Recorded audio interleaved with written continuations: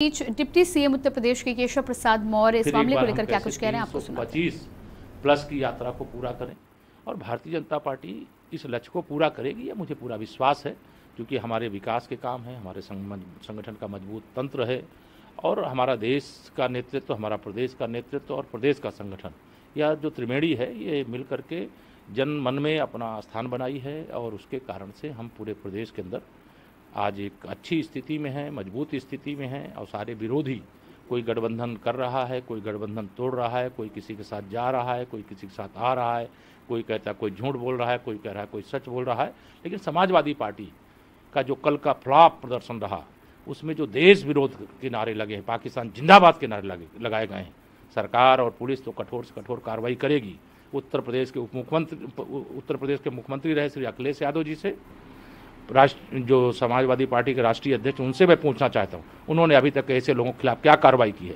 क्या उत्तर प्रदेश को बताना चाहते हैं कि सपा की सरकार अगर बन जाएगी तो वह पाकिस्तान जिंदाबाद के नारे यूपी में लगेंगे? वह नहीं लगने पाएँगे। ऐसे लोगों को कुचल दिया जाएगा ऐसे लोगों के खिलाफ कठोर कार्रवाई की जाएगी। क्या सर ऐसे नारों के साथ अखिलेश यादव उनकी पार्टी है सर? देखिए अखिलेश यादव जी और उनकी पार्टी केवल तुष्टिकरण की राजनीति करती है। आतंकवादियों की जब सत्ता में थे, मुकदमे वापस लेते हैं। जब पुलिस उत्तर प्रदेश की कार्रवाई आतंकियों के खिलाफ करती है तो उसका विरोध करते हैं। गुंडों का, अपराधियों का, माफियाओं का एक बड़ा तंत्र समाजवादी पार्टी के साथ पहले भी जुड़ा था, आज भी जुड़ा है।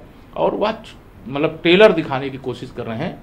प्रदेश की जनता को भय दिखाने की कोशिश कर रहे हैं और इसमें वो कामयाब नहीं है। सर, प्रियंका गांधी तो ये थे डिप्टी सीएम केशव प्रसाद मौर्य जिस तरह से सपा के प्रदर्शन में पाकिस्तान जिंदाबाद के नारे लगे हैं, ऐसे में सवाल खड़े हो रहे हैं। केशव प्रसाद मौर्य का भी साफ़ कहना है कि सपा ने इनको लेकर कोई कार्रवाई नहीं की।